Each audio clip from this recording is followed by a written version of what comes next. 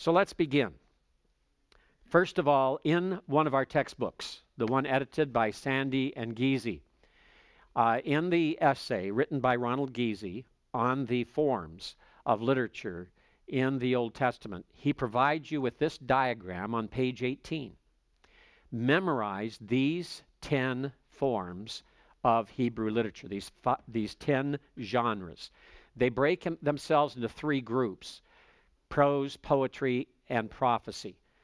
But what you've got to remember is the 10 law, narrative, history, oracles of salvation, announcements of judgment, apocalyptic, lament, praise, proverbs, and other wisdom. Those are the 10. So make certain that you memorize those 10. I'm not going to ask you to draw the diagram, but there'll be a list for you to write all 10. And that's a guaranteed question on the final exam. So it's a good time to become familiar with it and to understand. 18, page 18. This diagram's on page 18. And also, this diagram is uploaded in this literary analysis PowerPoint under course documents on Joule as well. So you have my colored rendition as well as the black and white in your textbook. All right? Now, one of the reasons we talk about these things is to be prepared for a full and complete exegesis of the text. I mean, this is kind of a hilarious situation. Uh, you can imagine the concern of the individual who's in charge of this donkey cart in Pakistan because he's got to figure a way to get some weight off of the cart to allow the donkey to come down. Or, and one of the ways he's going to have to do that is to walk up the uh, arms of the cart to where he gets up there and adds his weight over the back of the donkey. There's no way he's going to get in front of that donkey and pull it down because the donkey will kick him to death before he can get it down. Uh, in Bangladesh, where I spent 15 years, I didn't see donkeys this way because they didn't have beasts of burden like that the way they did in Pakistan. Pakistan had a lot more available. In Bangladesh, the beast of burden is man himself. And I've seen men suspended from the arms of the telegaris because they overweighted or the load shifted on the back of the telegari and it, it, decided to tip up and they were having an awful time trying to get it back down. They'd sometimes get three or four men hanging from it to try to get it back down and then try to reorganize it. Plan ahead for your exegesis. Plan ahead for your papers. Plan ahead for your assignments. Plan ahead for literary analysis. You need to go look at some commentaries now with regard to your text. Whatever your text is, whether it's that one in Job 19 or Psalm 33 or wherever you are, Isaiah 1, you need to look at some commentaries and you need to watch what those commentaries say about literary devices and literary analysis of your text. Pay attention to the way the commentators talk about what kind of psalm it is or what kind of text it is. And in addition to that, do your own careful analysis and do a little bit of reading elsewhere, uh, especially in the textbook. Figure out from the textbook if it will help you identify the type of literature that you're looking at. If you're in Psalm 33, then look at those areas of Psalms. Is it a praise or is it a lament? How do you determine it? Read the article, read the essay. Ask yourself questions about your text and then come up with an identification and then pay attention because these essays in Cracking Old Testament Codes also define for you what you can expect in the genre, what to look for, and then how that impacts your interpretation and your exposition. So be certain you use this. This is going to have to be one of your right hand manuals as you're going through, right next to the biblical text to help you in identifying this and doing this paper. Let's take a look at some examples. Most, uh, in fact, all four papers that you, all four areas of paper, the texts that are in this course, are, are, are poetry. They're all poetry. So as we're looking at poetry, there's a number of things that we need to remember. And so let's take a look at some sample text. Psalm 97, 11, 12. Or Zaruach lat sadik. Light is sown, S O W N, not S E W N. S E W N is to sow with a needle and thread. S O W N is to cast seed. And so light is sown, it's cast as seed, it's spread latzadik, for the righteous. And for the upright of heart, ul yishrei simcha. And for the upright in heart, joy or gladness. And then the next verse, verse 12, Simchu tzadikim bayahweh. Uh, rejoice or be glad, O righteous, in Yahweh. Wehodu lezeker kadsho. And be thankful or praise for or to, literally, the memorial of his holiness which is a way, an idiom of speaking of his name, his holy name, his memorial name, as it's referred to in Exodus chapter 3. And so, as we're looking at this, we have to pick this apart now and take a look at it. And we notice that we have Or is A, Zarua is B, Latzadik is C. And then we go to the next line, and Ul Yishrei Lev is counted as one because it's a construct chain. And that construct chain has a makef between the two parts there. And that's not the sign of the construct because you can have a makef between elements that are not in construct. And all it does is say that these two words are to be pronounced as one, therefore they're going to be counted as one word here. And then you have simcha, and that is a one. So notice that the equivalent of zarua, Qal, passive participle, masculine, singular, is lacking in the second line of verse 11. So let's go to the next one, just as we mark that and remember it. And the next one we have Simchu is A, Tzadikim is B, and then we have Yahweh is C, and in the next line we have Wehodu is A, and Lazeker Kadsho is in construct, making it one then, even though it doesn't have the Makaf. And so we make that C, and notice again we have an element missing. We have the subject of the imperative missing in the second line, tzadikim. So that's what we call gapping. It's an ellipsis in each of these second lines. It is the verb is gapped, it's left out. It's understood. You could translate it. Light is sown for the righteous, and for the upright of heart, joy is sown, or for the upright of heart is sown joy. You can add that in. You'd put it in italics in the second line because it's not there in the second line. You can do the same for the for verse 12. Uh, Rejoice, O righteous, in Yahweh. Praise, O righteous, the memorial of his holiness. Okay, you can, and O righteous would be in italics in that second line because it's understood. It's clear, it's understood. This is one of the characteristics of Hebrew poetry to gap certain terms that can be understood. It's an economy in the use of the language. And notice here if we count syllables in the first line of verse 11, or zaruach lat sadik, or is a syllable, Zaru are two syllables, that brings three. The pathak under the ayin is not a syllable because it's the pathak furtive and is considered a half vowel. Therefore, it cannot serve as a separate syllable. And that's why we always pronounce the pathak furtive ahead of the consonant is under at the end of a word. So we have three syllables thus far, and lat sadik is three more. That's six syllables in line one, in line one of verse 11. Then look at the second line of verse 11. Ul is one syllable, Yish is a syllable, Re is a syllable, Lave is a syllable, that's four. Simcha is two syllables. So we have six. So it's six and six. But if you took Zaruah and you repeated it in line two, it would make eight syllables for the second line, and it would make the two lines unbalanced. That's why it is omitted.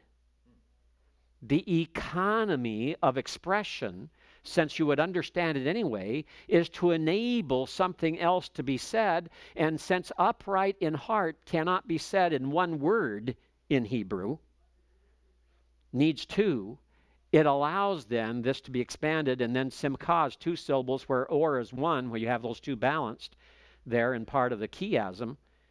And notice it's a chiastic arrangement, and the central elements of this chiasm are Latzadik and ul yishrelev. So the center of the chiasm are the people who are referred to. And then we can see the same type of thing occurs in verse 12. And as we look at that, the gapped concept there is the vocative, O righteous, sad, sad, tzadikim. Notice that we have a repetition of words. We have tzaddik in the first line of uh, verse 11. We have tzaddikim in the first line of verse 12. So as we look at this, what do we have? First of all, we have an, uh, besides the gapping, we have an assonance. The key words in each verse that are gapped, that are understood in the second line of each, both begin with a sibilant, one with a zayin and one with a tzade.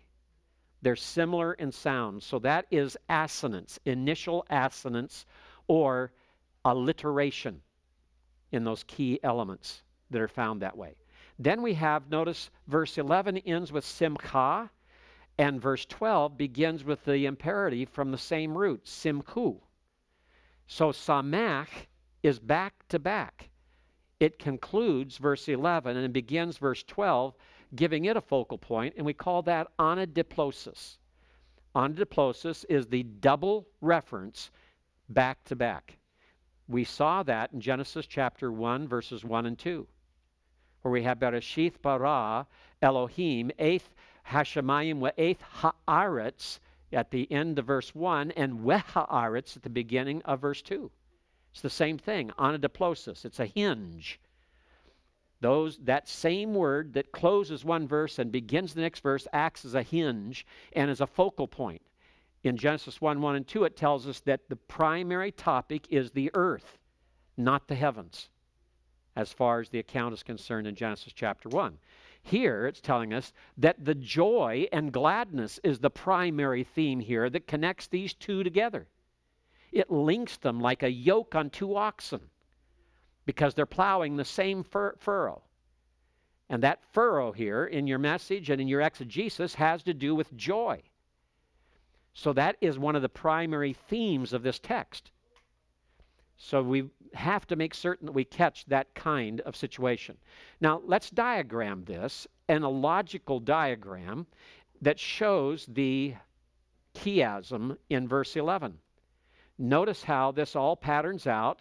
Notice how I've added zaruach as the gapped verb form in the second line by putting it in square brackets to indicate it's not in the text. I've added in just to show that it's understood in the second half. The central elements are the focal point of that chiasm. And notice those central elements have to do with the people. It's not the light and it's not the joy, although joy is going to be a focal point of this, these two verses together because it's the hinge that's the center between these two verses. But it's the people. It's the joy of the people is your primary concept then that must come out in exegesis and also must come out in exposition. So when you're preaching this text, don't get wrapped up in what in the world does sown mean? And why does he choose the word zaruach? Why not some other word? Why didn't you say spread or cast or something else? Why this? Well, there may be some reasons, but don't get sidetracked by that. It's not that, that it's unimportant. It's not that you should neglect it or ignore it. It's just that you should not focus on it. Focus major on what God majors on in the text, minor on what God minors on in the text, and we'll do all right. We'll accurately and faithfully represent the text. So, in preaching this text, you don't even want to get wrapped up in defining what's that light. I mean, we're talking about the light of God, or, or what does it mean? Is it a reference to truth? Is it symbolic? I mean, we can get off and spend a whole sermon just talking about or and word studies and everything else and never get to the key points in these verses.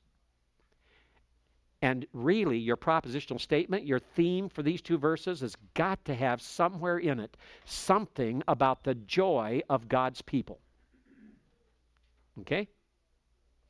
That's what you've got to focus on. The chiasm focuses on people. The anadiplosis uh, focuses on joy with that repetition. And remember, you have a repetition of the people again, going from the singular tzaddik all the way down to the next verse where we have tzaddikim, the plural. And you'll notice again there that same type of focus. Let's take another example Psalm 103, verse 7. In Psalm 103, verse 7, the first line, we have Yodia, again with a pathak furtive under the ayin, derakau lem, uh, lemoshe. So he made known his ways to Moses. Now, this is one of those cases where you can see how that an imperfect cannot be automatically a present or a future. Because by context, reading Psalm 103, uh, you're, you're dealing with a period of time long after Moses. Moses is long gone, long dead. There's no way to translate this imperfect as anything except a past. It's not talking about God revealing it in the future to Moses or revealing it this time to Moses. This is why you can never, ever, ever make time or tense a factor of Hebrew verbs.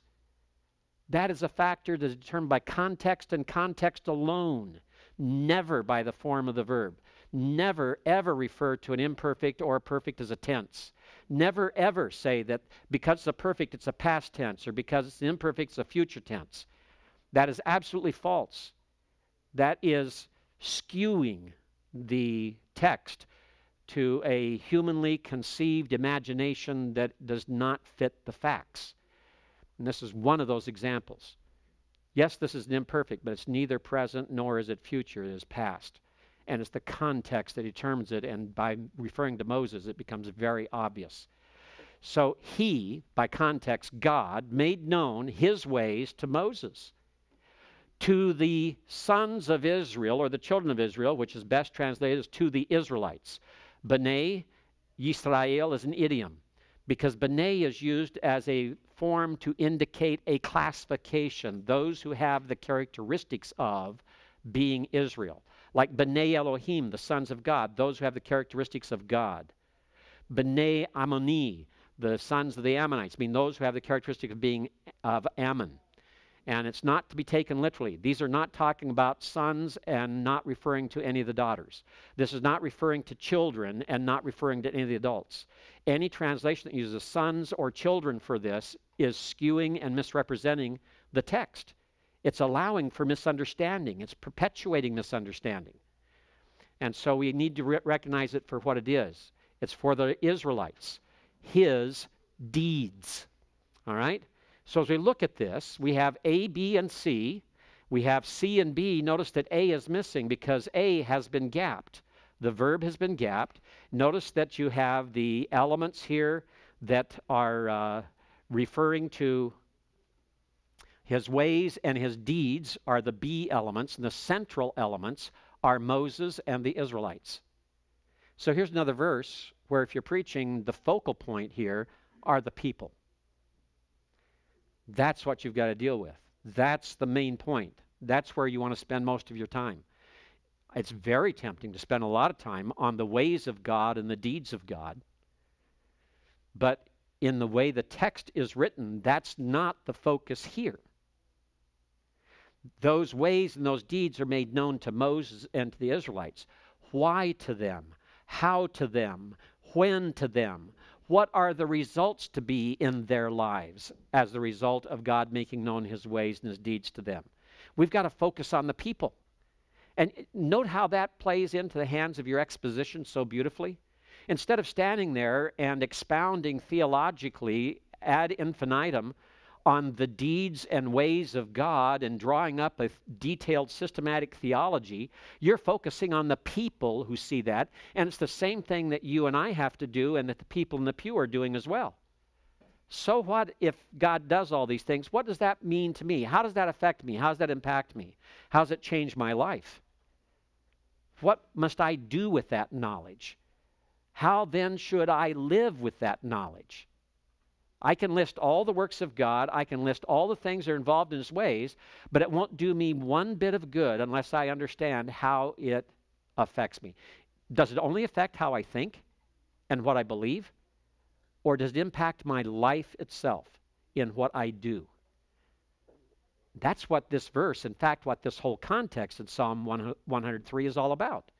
In fact, in the prior context, you have some details given.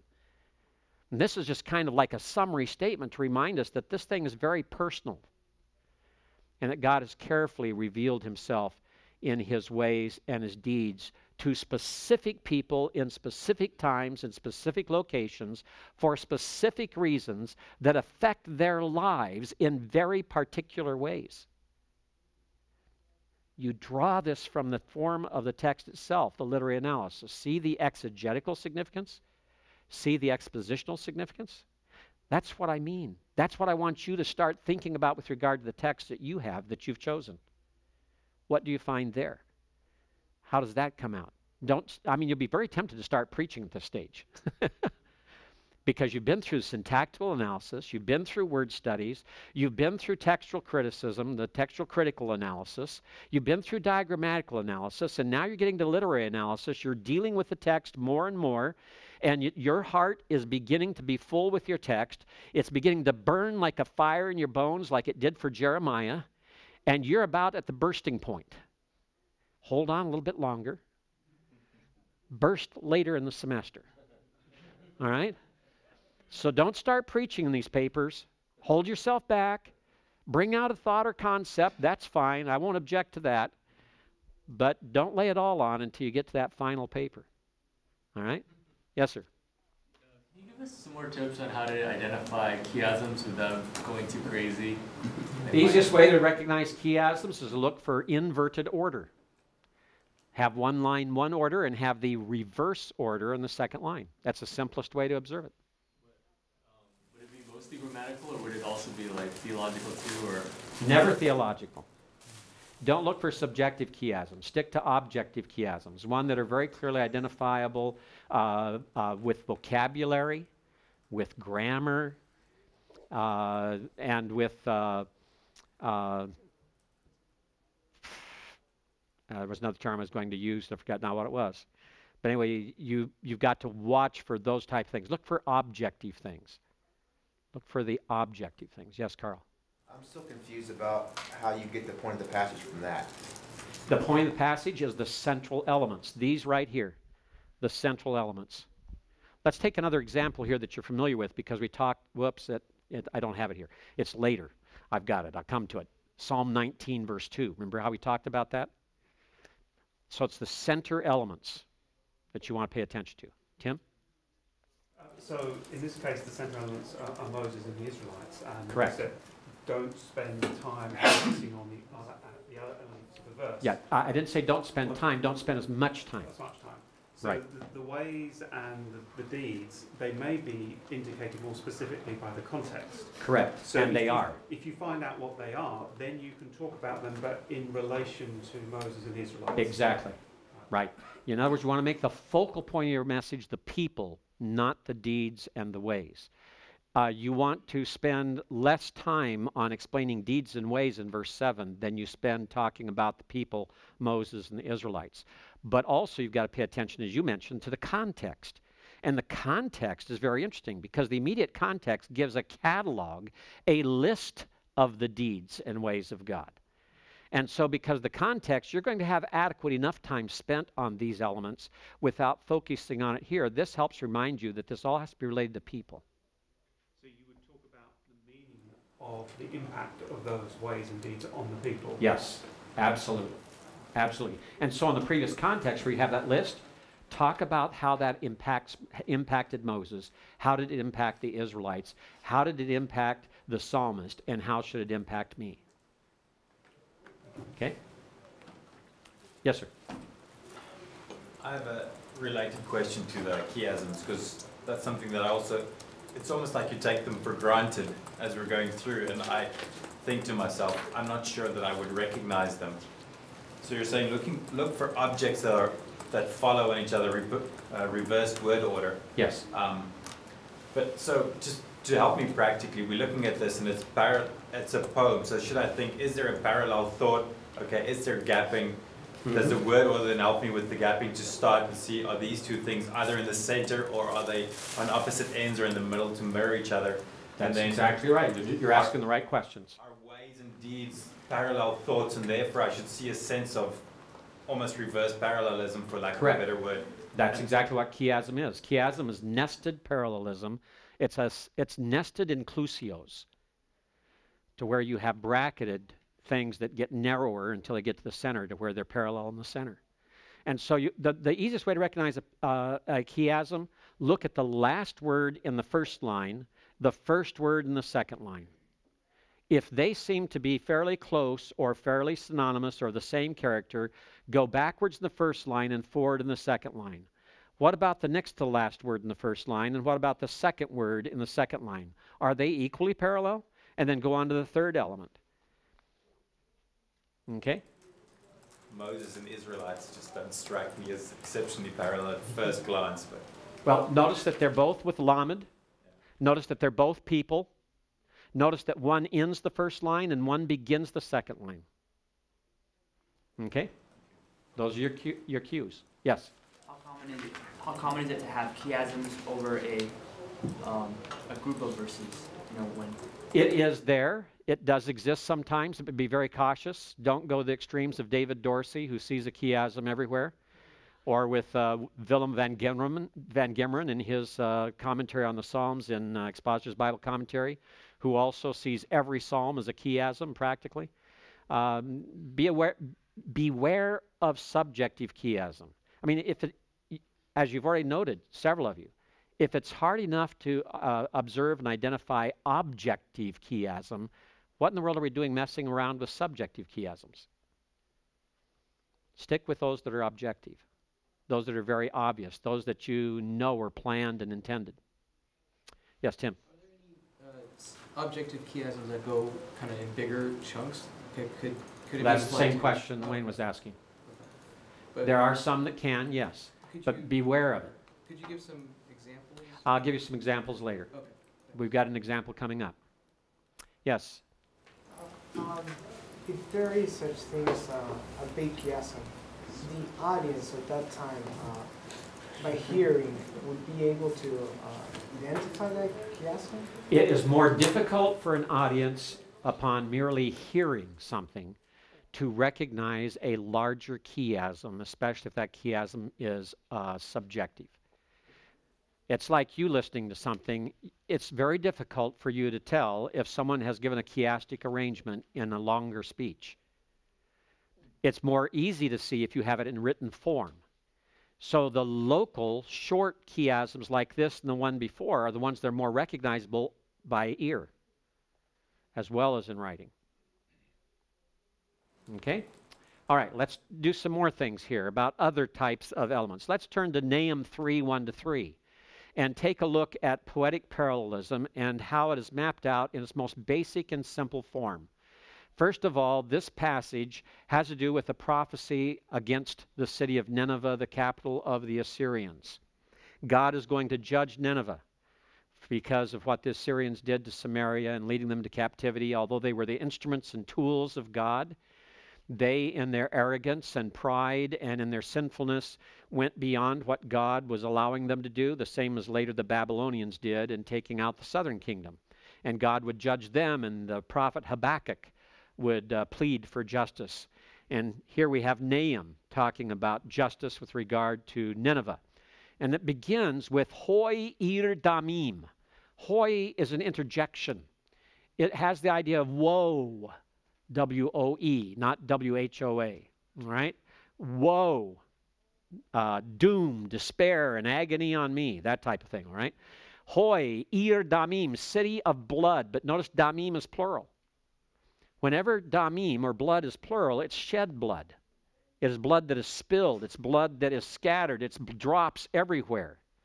It's uh, it, it, here we're talking about a city filled with bloodshed, murder, violence. All right? This begins the poem. It has no parallel line. It's what we call a monocolon. It is a single colon all by itself that makes the statement. It grabs the attention of the hearer with hoi. It addresses the object of this revelation with ir damim, and the damim immediately sets the stage for why judgment is going to be pronounced. The hoi can be referred to as a part uh, as a uh, uh, anacrusis, that is a poetic device whereby you use an interjection or a particular word that sits all by itself but is used to set the tone of what is to come. Hoi. And then we move on. And notice the parallelism is two words at a time. Kulach kachash, perek mile'ah. Kula, all of her, kachash, a lie. Perek is booty, loot, spoils. Mile'ah, she is full. So it says, all of her is a lie. Booty is her fill. Uh, she's full of booty, uh, full of, of uh, spoils or loot. So we have a modifier with a subject. All of her is, is a lie. And then the subject and the modifier. Here we have a chiastic arrangement. The chiastic arrangement puts the two that have the modifying grammatical function on the outside. They have the assonance of a qamets he on the end of each. They have the meaning lexically or semantically that is virtually uh, identical, one all of and the other one full of. And then the two in the middle are nouns. One is lie and one is loot. And um, don't see immediately any connection there, but they're centered and focused to where they are the center of the chiasm, and that's what it's all about. The idea here is that she is totally characterized by lies and by loot, by looting. The chiasmus also provides us with a merism, because if she if all of her is a lie and she is full of loot or booty or spoil, then this is describing her condition as one that is uh, it's, it's not a good condition to be in. Let's put it that way. And the use of mile'ah and the use of kol together show how extensive it is. It is she's full of it. There, there's no other, there's no room for truth. There's no room for security. And then the last line uh, is a parallel to that middle line, and it's lo yamish taref and there is no end to or no finishing up or closing out of prey, P R E Y. That which, uh, say, a, a, bird of prey feeds on animals, and so it's uh, that which is hunted. Uh, that's the word that was used when uh, Jacob thought that Joseph had been killed by wild animals. He felt that he had been a prey to wild animals, teref. And so as you're looking at this, that, that prey goes back to perek. And in fact, there's even an assonance here in the vowels because taref is a qamets because it's in pause, but it's normally teref. And teref and perek both have the same vowels, and they're both talking about basically the same thing loot, booty, spoil, prey. That which is taken, that which is uh, hunted for, that which is wanted, that which is hoarded. And so it puts these two parallel to each other and uh, closes this out with a threefold description of the condition of Nineveh. Now, let me suggest something here to you as you approach Nahum chapter 3. If you just imagine you're sitting in a movie theater, all right, we're right, right here next to Hollywood. This ought to help you a little bit. All right, you're sitting in the movie theater, lights go down. You don't hear a pin drop because everyone's anxious to see what's there. Everyone's shut off their cell phones, hopefully. And it becomes dark. And then suddenly you hear a narrator. And the narrator cries out, Hoi, Ir Damim, woe, city of bloodshed. And the narrator continues. You don't have anything on the screen, it's still black. She is full of lies, or she is all lies, and she is full of loot. There's not any end to her prey. And the next thing you do is you hear sounds, background sounds. Kol shot, literally the voice of the whip, the crack of the whip. You hear that in the audio. Wekol ra'as ofan, literally, and the sound of the shaking or the chattering of wheels, chariot wheels. You begin to think, oh man, there's some action going on. How come I can't see it yet? I want to see what's going on. I hear the crack of the whips. I hear the chattering of the chariot wheels over cobblestone. Something's going on. When are they going to show me a picture of it? Notice the initial repetition of kol, the sound. Was sus doher, and suddenly the screen begins to give you an image, but it's fuzzy, it's blurry, not enough light, not enough focus. You see a movement. You know immediately what it is. It's the motion that you see of galloping horses. With sus doher and the galloping of horses. Umerkaba merakeda. And that is the bounding of chariots. You see the horses suddenly, instead of coming at you head on, turn to the side and you see behind them a chariot. You can't quite tell, but you can tell there's a figure standing in it. And, and he's standing on something that's being pulled by these horses. So you know it's a chariot. And it fits the clattering, the chattering of the chariot wheels that you've already heard. You're beginning to get a picture. There's some military action going on. It moved from nothing, just the narrator, to sounds to now the beginning of sight. And when it does that, it uses assonance for that last one. Umerkeva merakeda. It has that rhythm to it as though it were the galloping of the horses.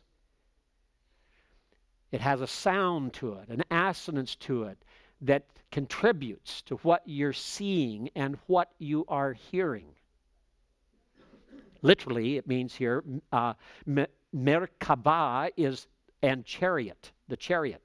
And Merakeda is the bounding chariot, the bouncing chariot. So you have sounds and now you have sight. You have two examples of each, two examples of sound, two examples of sight.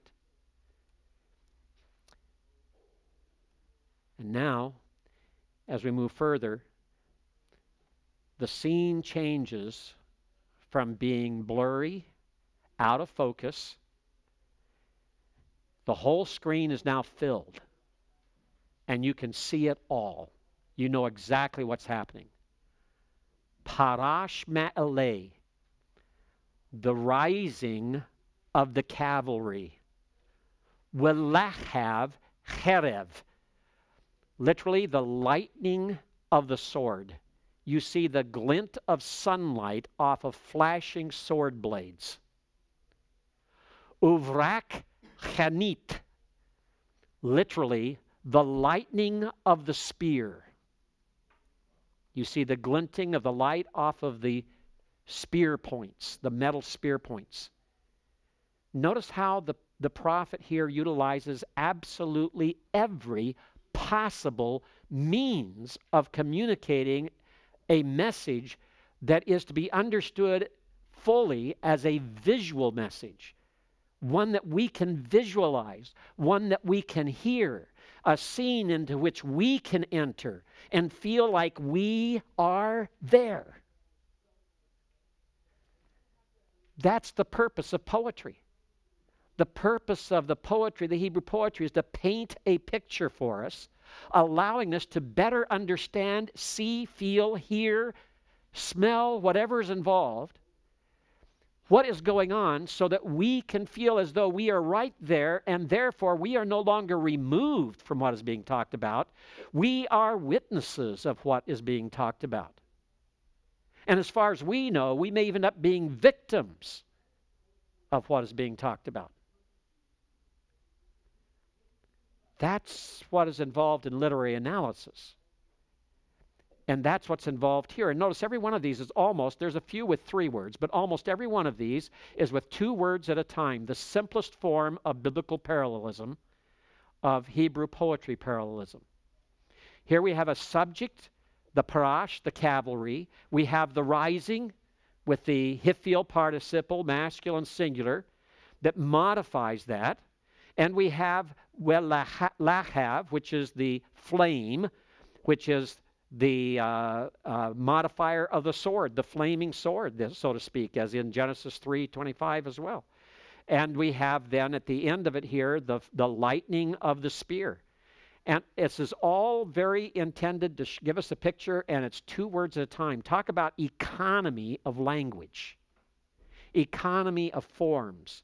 Two words parallel at a time, and various arrangements to put different things in the middle so that you can see what is the focus or emphasis.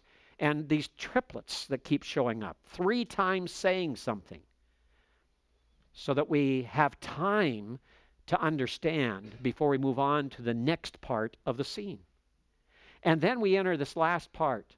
Wirov halal wekoved pagish, pagir, excuse me.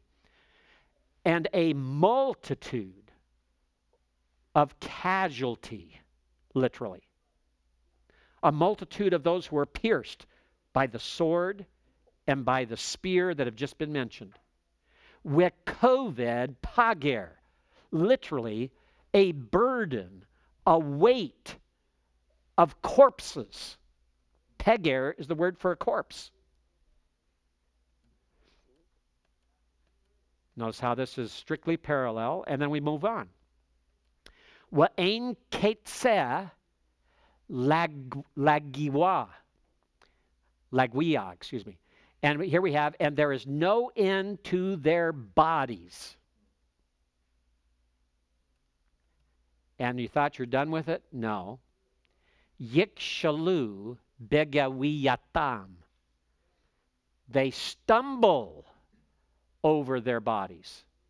Now we've gone to four total, oops, go back here, four descriptions. And notice how this poem, this is a stanza. It began with Hoy, Ir Damim, city of blood, bloodshed. And how does this stanza close? With a fourfold repetition referring to the multitude of corpses in the streets of Nineveh. The city of bloodshed has now shed its blood.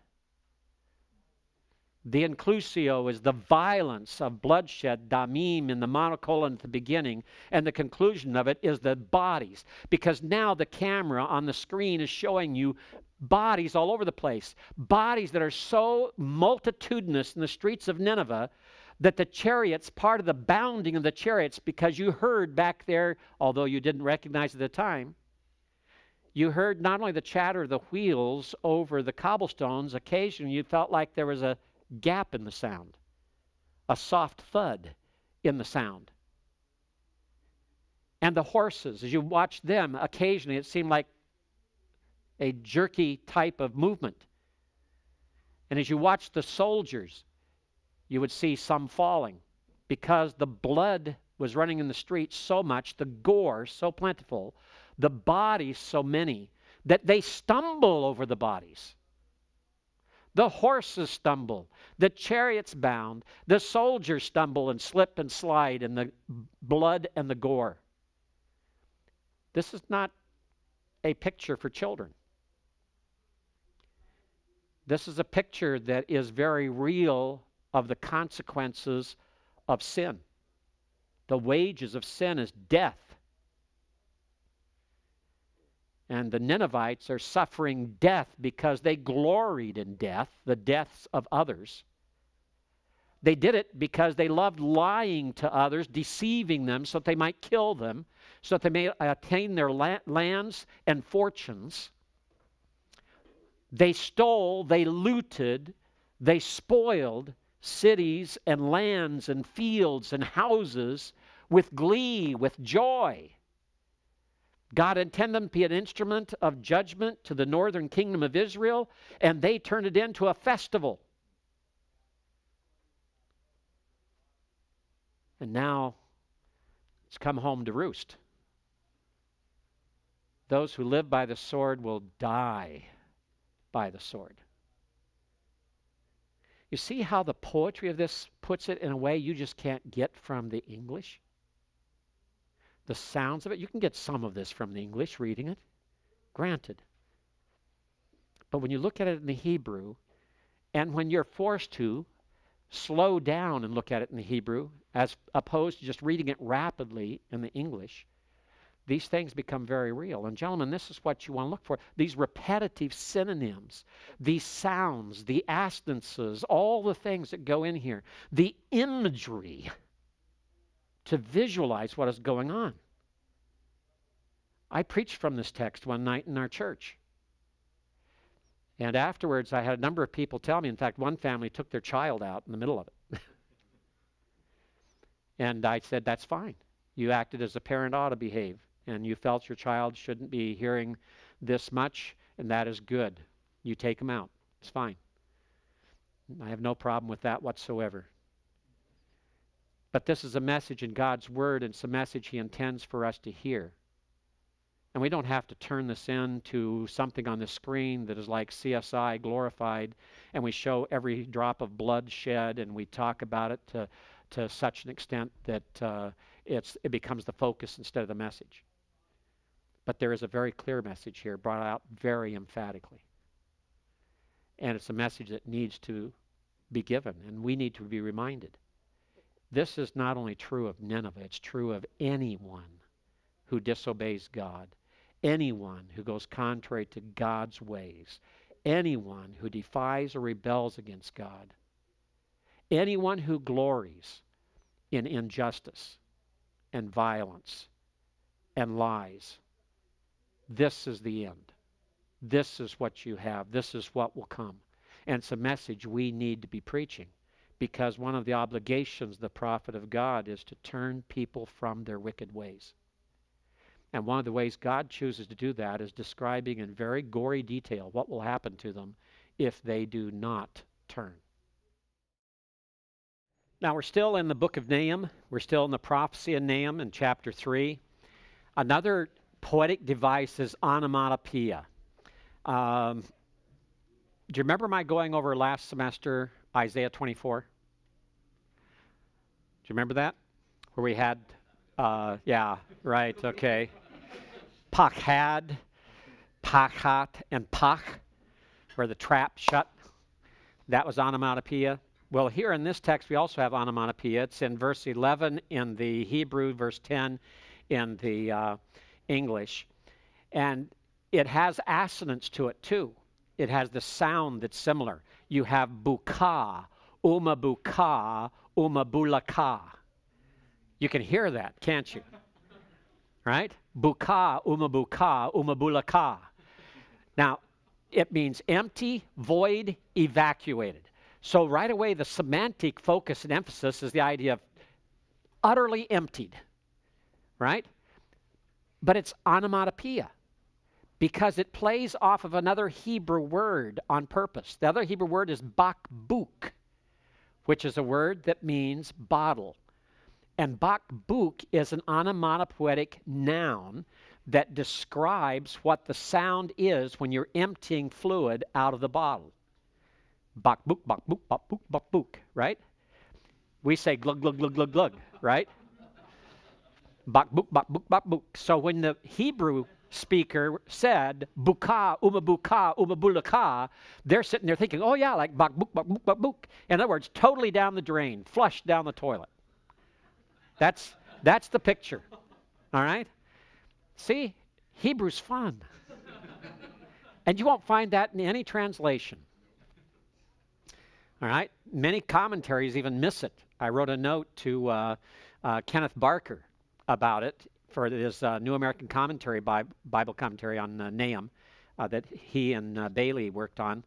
And uh, he thanked me for pointing it out. He said that uh, he didn't even see it. And he said, all of a sudden, he says, as soon as you mentioned, he says, man, he says, it's so obvious. He wondered why they missed it. But you see, gentlemen, take, he, take take courage from that and comfort from that. If someone who's been teaching Hebrew as long as Kenneth Barker's been teaching will miss something like this in the text, you and I might miss it too very easily. And so pay attention to it and keep learning. And the longer you stay in the text, the more you read in the text, the more you use the text throughout all the years of your ministry, the more things you'll begin to see and pick up that just kind of slid by before. All right? And you get to go back and have the joy of greater discovery. I'll never forget the day in Bible college. Uh, it was my uh, second year of Bible college. Before I got married, I was still single. And my favorite professor wa- was a, a, man that uh, was just unbelievable. He was a man who had served as a missionary in China for years. He was carried out of China, out of the Himalayas on a stretcher because of a disease that he had that just racked his lungs. His name was Leo Lapp. And uh, his, his life story is just amazing. He had two doctor's degrees. He spent time working in missions in, uh, uh, up in the Northwest, in Canada, in the Vancouver area with Indian villages. Uh, he was a student of sociology, of science, of linguistics. He was my first Hebrew pro- professor. He loved the languages. And I can remember one day walking into his office to see him about something, and he was standing over his desk. He was standing up out of his chair, standing over his desk, looking at something on his desk where he had an open Bible. And he said, Stand there and wait a minute, Bill. And I stood there and waited. And it was obvious he was looking at something very intently in his Bible. And all of a sudden, he looked up, and there was just like the glow on his face. And he said, Come over here. I want to show you something. I've never seen this before.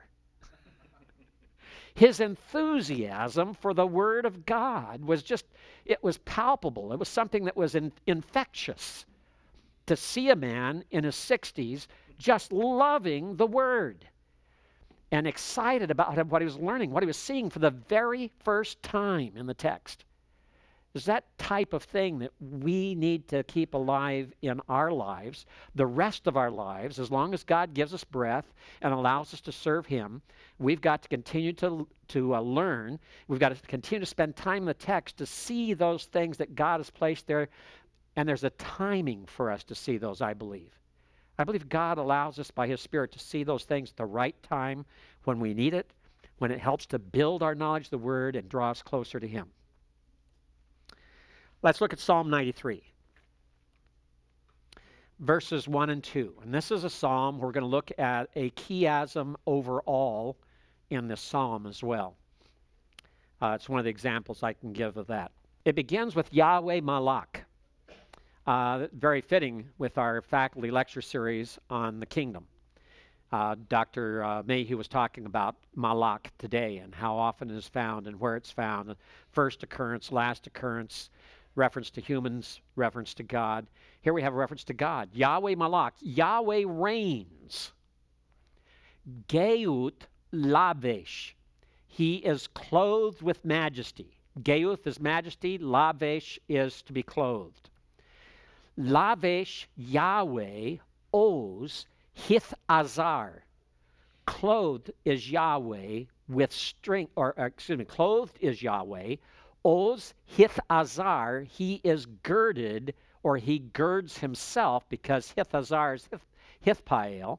He girds himself with strength. And it goes on. Aftikon Tevel Bal Timot. Indeed, the world is fixed or firm or established. Tikon has the idea of to be established. It's a Qal imperfect, third feminine singular of kun. Kaf, Shorik, Noon, a middle, middle vowel verb. Tevel is the word for globe or world as a whole, including the seas, including the landforms. Some will say that it could refer in some context to just the continents themselves alone. Baal Timot, it will not be moved. In other words, it's firm, it's fixed. Nakon kisaka meaz, taking the same verb root, kun, using a nifal in the participle, nakon, fixed, firm, kiseka, is your throne, mayaz, literally from then, and it has the it's an idiomatic way of saying forever, forever, everlasting. Me olam ata. Not only is the throne forever, but he, God, is forever. The, the psalmist says, From eternity are you. You are from eternity. You are eternal. So as we begin to look at this, the same type of two-word parallelism being used that we saw in Nahum, the most basic form of parallelism. We have Yahweh Malak at the very beginning. It sets the theme overall. Then we have Lavesh acts as a hinge between the first line. In fact, Yahweh Malak would be a monocolon. It's set apart, it sets the main theme for the entire psalm. And the next two lines are parallel to each other. Clothed with majesty, Yahweh is clothed. With strength, he is girded. Three times it's said in order for us to see that he is indeed God. He is a royal king. He's a powerful king. He is a king of majesty. We have what we call a terrace parallelism. When you look at it that way, notice how the hinge overlaps. It's like going down the stairs or going upstairs. The flow hinges by putting those words together that way. Terrace parallelism. Notice here we have Yahweh at the beginning, we have Lavesh, Lavesh. We have Yahweh at the end of this line here, looking back at that, where we have Yahweh reigns, he is clothed with majesty. Yahweh is clothed, the repetition used, the repetition of kun, the repetition of prepositional phrases with min preposition that express long periods of time. And the terrace there as well as on those words for time. Notice the assonance between tevel and baal back to back, the Beth Lamed back to back to tie those sounds in that one line together. And notice the progression, the logical progression. What is established? What is firm? What is fixed? The world, God's throne, and God Himself. Notice the progression, how it moves from the world to His throne to God Himself, from earth to heaven to God Himself. What's the focal point? God. How did this begin? Yahweh. How's it end? Ata. It brackets, it's like an inclusio, the personal reference around these two verses that set them apart. Yahweh reigns is the theme, and it's first showed that he is majestic, and second shows that he is everlasting. Yahweh reigns. He's majestic, he's everlasting. He's majestic in his reign, he is everlasting in his reign, his throne is forever. All of that poetry put together to tie things up. And notice that the focus here on these repetitions is on the aspect of his showing visible majesty, upon how firm and fixed his reign and rule is, and how long it lasts. The fact that it's firm and fixed is because it's long term. It's not short term. It's not just overnight and it's gone. So the poetry here ties together well and helping to advance the argument and look at it. Let's go to the next two verses. Nasa'u necharot Yahweh. The floods, or literally the rivers, are lifted up, O Yahweh. The floods, the rivers, lift up their voice, their sound, kolam. Yisa'u neharot dakyam. They lift up, the rivers, the floods lift up their literally breakers. Uh, that's another onomatopoeia. Uh, have you been down at the ocean when there's large waves breaking? What do you hear? You hear a sound that's like duck, duck. The slap of the wave the curl of the wave and the air inside it as it collapses, the way the water collapses, make that great sound that you just can't miss. It's not the gentle lapping of waves, it is pounding surf. And you see the same thing when it hits the rocks. That slap, that's dak, dakyam. They're breakers. Uh, we'll come back to this in a minute. Yes? How do you kind of recognize onomatopoeias? Use the lexicon. Okay. They'll tell you. All right? Yes, sir. Concerning translation, when we see a chiasm, how much should we try to preserve that in the English? Like for instance, If it can be preserved in English, do it. If it can't, forget it. Should we sacrifice readability to preserve No. it, or like, okay. No. Keep your readability. Don't over uh, use the form.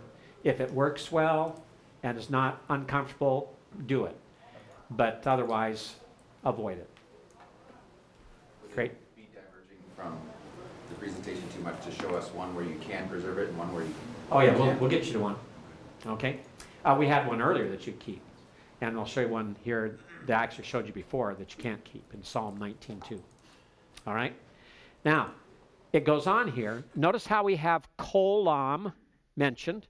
The dakyam is onomatopoetic and refers to sound as well.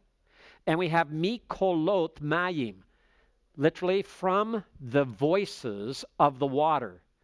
But not just any water, rabim, many waters, abundant waters. Adirim mishevere yam. And here we have the breakers again, but these breakers are those that break and shatter, literally breaking in pieces. Breaking in pieces. That breaking surf of the sea that breaks in pieces, it's not just the sound of dakyam. It is actually physically shattering the rock along the seashore, breaking it into pieces, wearing the coastland away. Adir Bamarom Yahweh, mighty in the heights is Yahweh. Now, let's take a look at this. Notice the threefold line here. This is obviously a tricolon because all three are parallel. They have the obvious uses of two words that are identical, except that we move from the nasa'u down to yisa'u. We move from the nifal, perfect, masculine or common plural, down to a Qal, imperfect. Why the imperfect at the end there as opposed to the first two? The first two are just looking at the situation as a whole, as a simple action without regard to the progress of the action. But the third and final one is not just talking about that the, the floods are lifting up their voice, O Yahweh, making a sound. They're lifted up, the idea of their being mighty, they're prevailing, they're, they're doing something. They're lifting up their voice, their sound. But this idea of dakyam, the breakers here, is that which is coming again and again and again and again. It's repetitious. You don't get just one breaker and it's silent the rest of the night. When you have storm waves coming in that way, the large breaking waves that come upon the shore, there are series of them. They come repeatedly on a regular pattern. In fact, I can remember staying down by the ocean when I was in seminary. We lived a half block away from it. And I'd go down there and I could count and I could figure out how often the largest wave would come in. There'd be certain patterns and rhythms that would develop because of the form of the sea bottom, because of the type of storm out at sea and the, the air pressure, things of that nature. And you could actually sometimes count okay, every fifth wave is going to be higher than the previous four. And you'd stand there and count them, and sure enough, that's what it. It has a rhythm. It has a repetition. And the imperfect here is to give us the idea of the progress of the action, the rep- repetitive, repetitiveness of the dakyam, their breakers, as they come in. It's one after another, after another, after another, after another, pounding and pounding and pounding surf on the shoreline. So that's why you have that change that helps to highlight something, and you have to always ask yourself the question why the change? Remember, it's like in Psalm 19, verses 8 through 10? Why the change from participles to a perfect? Sadku. Why the change? You have to ask the question, then you have to discover the answer because it's intentional, it's purposeful. So we have to find out what it's about. And that's what this is about. It, it ties in with that word that's being used, dakyam. And then down here we have mayim adirim. Notice the, the assonance here. Mayim rabim adirim, and then adir. Pathak hirikiod, pathak hirikiod, pathic hirikiod, pathak hirikiod. Repetitious sounds. It's, it's almost like you're hearing the repetition of those breakers because the repeated sound maintains the rhythm, maintains that constant, careful, spaced rhythm. The terrace here, Rabim parallel with Adirim, but repeated in the Adir that follows. Mikalot Mayim, and here we have Mish, mish, uh, mishav, Mishbare, Mishbare Yam, where we have Mayim parallel to Yam, where we have Mikolot parallel to Mishbare. And then the middle, Adir. Adir here, the, the repetition is the idea of might, power. And you stop to think about it. This whole two verses is about power. The power of the ocean and who's in charge of the ocean? God the Creator, God the King who reigns. He controls even the ocean's waves. He is on high. Bamarom Yahweh. He's majestic on high. He's powerful on high. Mighty on high. And the idea is he is even mightier than the mightiest breakers of the sea that you can possibly imagine. Try to stand up under the largest waves that pound the California coastline during a storm. Go down and tie yourself to Point Mugu and see how long you last. Uh, about, what, maybe a couple of minutes before you're broken and bleeding and crushed or drowned and the picture of power. And this was always an impression to the Israelites. Remember, they are a people who wandered in the wilderness, who lived in Egypt. They were not necessarily a seagoing people. The only time we find them seagoing is in the days of Solomon when he had the wealth enough to build ships to send it out to sea. They didn't have any natural ports along their coastline like Tyre and Sidon had. These were a people who were landlubbers not seafarers, not seagoers. The Phoenicians were those seagoers. They're the ones who had the ships and the boats that were sent out to sea. The Cretans and the, uh, the Cypriots and the Greeks, they were seafarers. The sea peoples, the Peleshit, they were those who were at sea, but not Israel. So for them, the sea was something mysterious. It was something that was mighty. It was something that they, they stood in awe of because they were not used to going out on it. They saw the results of the storms and the waves breaking upon the shore. Go down, stand at uh, uh, Caesarea Maritima, Caesarea there on the coast, and be there during a storm and, and listen to the waves come up against the coastline because there are some uh, cliffs there. I've actually climbed those cliffs. Actually, in, in those cliffs, it's amazing. You can climb those cliffs. They're, they're mainly dirt, not really what you call cliffs. They're like here in California, like the uh, uh, uh mountains and hills up here in Santa Clarita. Uh, they're, they're loosely compacted dirt, mainly, not rock. But in that layers there you look at along the shore at Caesarea, you'll find uh, tile from mosaic tile floors that are now under the soil. And you climb up, you get up about 20, 25 feet from the uh, uh, uh, seaside there, and you get up there and you find those. You can pull out a couple of those, and you realize someday someone's going to finally get down there and uncover that, and these are going to be tile floors in perhaps some nobleman's house or some other building.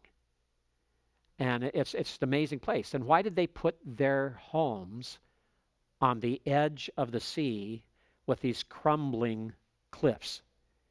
Because they love to be near the sea.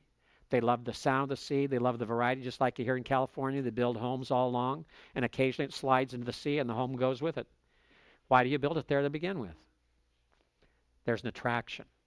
There's an attraction. Part of that attraction is to power. And that's the power that is shown here, especially in storm. Yes, Tim.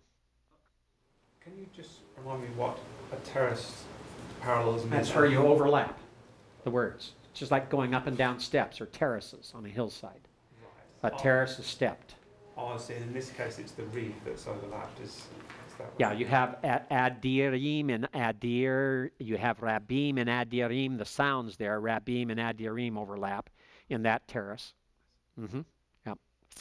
All right. Notice here you have Yahweh and you have Yahweh. Yahweh up at the first, uh, Nasu, Nacharot Yahweh, and at the very end, Bamarom Yahweh. Same type of focus we had in verses 1 and 2, with the same type of inclusio, except in verses 1 and 2, you had Yahweh at the very beginning, Yahweh Malak, not the third word in. And you had Atah at the end. But this type of structure lets you see the stanzas of the poem here in Psalm 93. And what's the focus here? Remember, the focus in verse 1 was majesty. The focus in verse 3 was that of eternality. And here we have majestic, majesty. Now, let's go to the final verse, verse 5. And this isn't the one I was thinking of that had the uh, overall chiasm. I'll have to come back to that one somewhere. I think it's on here. We'll see. I hope it is. Uh, the last verse, everything changes. We, yeah, there's a chiasm there. You have majesty, eternity, majesty. Eternity is in the middle. Majesty pairs it off and uh, brackets it off there. There's that. There's a subjective type of chiasm there that you can look at. Also depends on how you take this final statement here, because there's going to be another switch here. It's going to be very interesting, fascinating. Edoteka ne'emnu uh, me'od. Your testimonies or your witnesses are trustworthy exceedingly. Me'od. completely trustworthy.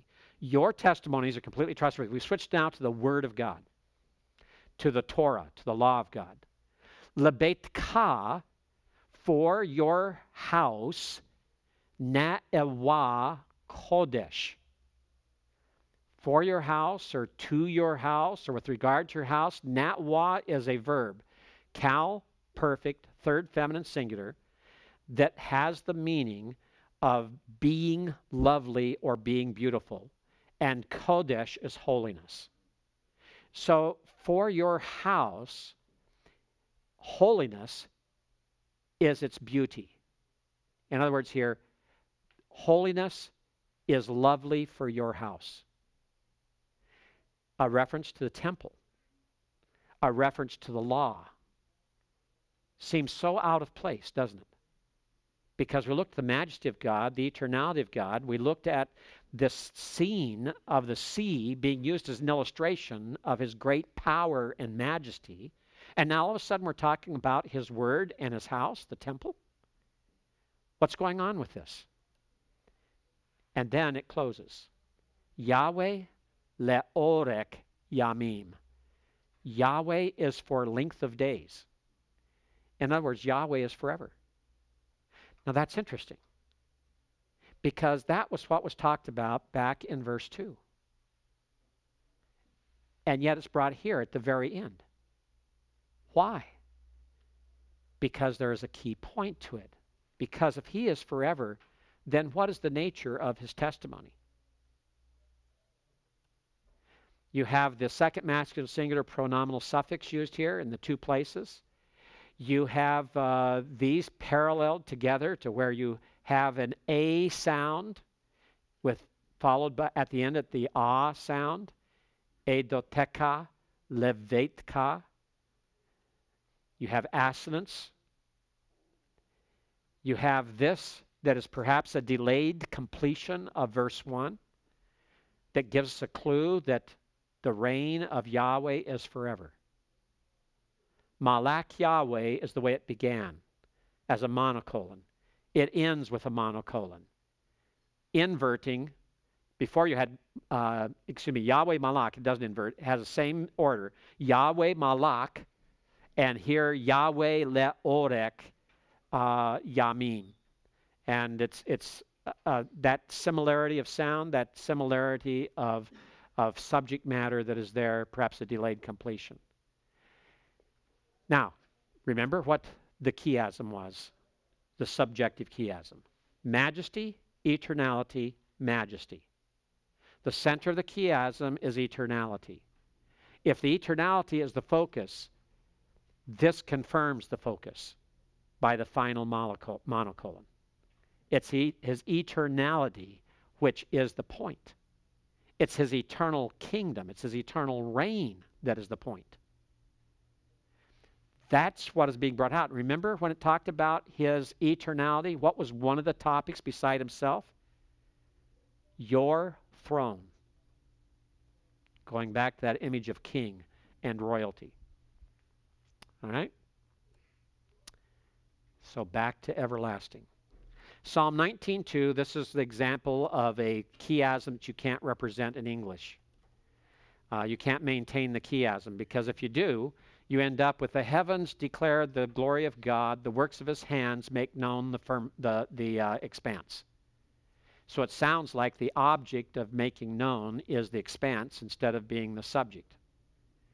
So you can't translate this in a way that maintains the chiasm. The center elements, remember, are the point. The focus is there. That's where we plant our flag. That's where we spend some time in our exposition because that's the important area, the important point of that chiasm.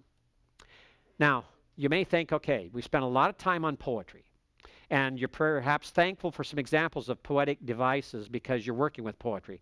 But what do you do in narrative? Is there anything as exciting in narrative? Oh, there is. Uh, there's just one example a polysemantic pun. Poly means many, semantic is meaning. Some words have more than one meaning. In the book of Job, you can have the word tikwa, which can mean hope and it can mean thread. And so when Job says that uh, his days are swifter than a weaver's shuttle and its thread comes to an end, in other words, the, the weaver is working so fast, and suddenly the weaver runs out of thread on the loom. But his point in the context is not literally about a weaver and a shuttle and thread. What he's talking about is his life is going by so fast, and he has an issue, a problem with God. God's taken everything he owns. God's taken all 10 of his children away in death. He has only his wife left. He's taken away his health, so his wife doesn't even want to be near him anymore because the breath that he has is so bad, the stink and stench of the sores and wounds on his body. Life has turned into severe trial, and the quality of life is totally gone. And he has a complaint with God. But he feels like the time is passing so quickly and his life is passing so quickly, he feels like there's no resolution that can be done in the short time he has left. Therefore, his life passes as swiftly as a weaver's shuttle that comes to an end without thread. The word thread also means hope. He feels hopeless. That's a polysemantic pun, and that's in poetry. But here's one in narrative the story of Joseph. Remember, this verse here says, uh, Wayikahuhu, so they took him, Wayashliku, and cast oto him, Haborah into the cistern. Wehaborek, and the cistern was empty. Ein bo mayim, there was no water in it. You go a little bit further in the story, chapter 40, verse 15, he's in Egypt. He's been in the household of Potiphar. His Potiphar's wife has accused Joseph of lewd advances. She was the one who was lewd, and she was the one who made the advances. He fled. She accuses him before his employer, and what is, he, what is done with him? He's put in jail. He's put in the dungeon. But look at the word that's used for dungeon. Ki gunov, gunavti. There's your uh, your uh, cognate infinitive absolute, your pre-positive intensive cognate infinitive absolute. Ganav used twice, gunov, the PL in, uh, infinitive absolute, and gunav T, the pual perfect first common singular. So I because I have certainly been stolen. Me'eretz, from the land, Ha'ivrim of the Hebrews, Wagam Po, and even here, Lo asiti me'uma, I have done nothing blameworthy. Ki samu, that they should put oti, me, babor, in this pit. Look how that ties it together. That ties the whole story together. Because Bor is not only a cistern in the wilderness that can hold water, but that cistern was empty. Now it's used of the dungeon. And when you look at that, life was the pits for Joseph. He went from one pit to another. That's not my idea. That's not what I'm saying and bringing out. That's what the author is saying. This is what Moses wrote. It's his point. Now, what can you learn from that? Whether it's your brothers or your family that do it to you, or whether it's the world that does it to you, life can be very unfair. And life can be terrible. Life can be the pits. We even use that terminology as an idiom in English, which makes it so nice here to refer to. But through it all, what does Joseph do? He trusts in God, he serves God, he remains faithful in spite of his circumstances, in spite of all the unfairness that occurred to him.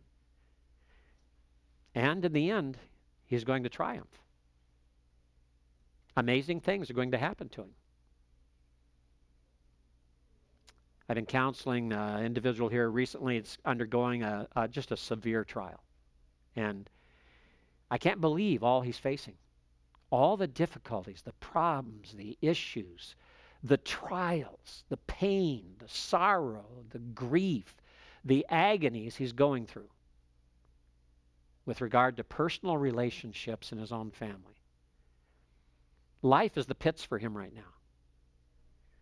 But one of the things I try to encourage him in is regardless of how bad it is right now, if he remains faithful to God and remains humble and wants to and desires and attempts to do what God wants of him, regardless of what happens to him, eventually there'll be a time when God will reward him for that faithfulness.